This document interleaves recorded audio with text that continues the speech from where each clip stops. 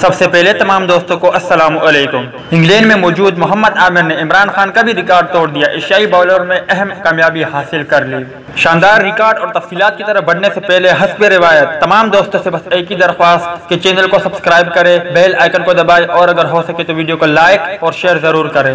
I C C cricket world cup کی mega event میں جہاں ایک طرف پاکستانی ٹیم ناکامیوں سے دو چار ہے، تو وہی باؤلر محمد عامر نے دنیا کرکٹ میں ایک بار پھر اپنی صلاحیتوں کا لوہا منوا لیا ہے۔ دنیا کے بہترین بلے بازوں کے لیے جانی جانے والی بھارت جیسی ٹیم بھی محمد عامر پر اسٹرائک نہ کر سکی۔ محمد عامر نے دس اوور میں سینتالیس رن دے کر تین وکٹیں حاصل کی۔ پاکستانی شائقین کرکٹ نے شکست پر پاکستانی ٹیم پر تنقید کی، لیکن ساتھ ہی محمد عامر کی تعریف بھی کی۔ اب محمد عامر نے ایشیائی باؤلر کی حیثیت سے انگلینڈ میں سب سے زیادہ وکٹیں لے کر سابق کپتان عمران خان، وسیم اکرم، وقار یونس اور مرلی دنن کا بھی ریکارڈ توڑ دیا ہے۔ انگلینڈ میں محمد عامر نے بیاسی وکٹیں حاصل کر لی۔ انگلینڈ میں وسیم اکرم اکیاسی، وقار یونس ستتر، مرلی دنن اکتر اور عمران خان سڑسٹھ وکٹیں حاصل کر چکے ہیں۔ ورلڈ کپ میں محمد عامر نے اب تک چھتیس اوور کر کے ایک سو ستر رن دیے اور تیرہ وکٹیں حاصل کی، جبکہ تین میڈن اوور بھی کی اور ان کا اکانومی ریٹ چار پوائنٹ بہتر رہا۔ دوسری جانب دیگر تمام پاکستانی باؤلر نے ایک سو چوبیس پوائنٹ چار اوور کر کے نو سو پندرہ رن دیے اور چودہ وکٹیں حاصل کی اور ان کا اکانومی ریٹ سات پوائنٹ بائیس رہا۔ تو دوست یہ تھی محمد عامر کے حوالے سے کچھ اپڈیٹ۔ امید کرتا آپ کو پسند آئی ہوگی۔ اس اپڈیٹ کے متعلق اپنی رائے کا اظہار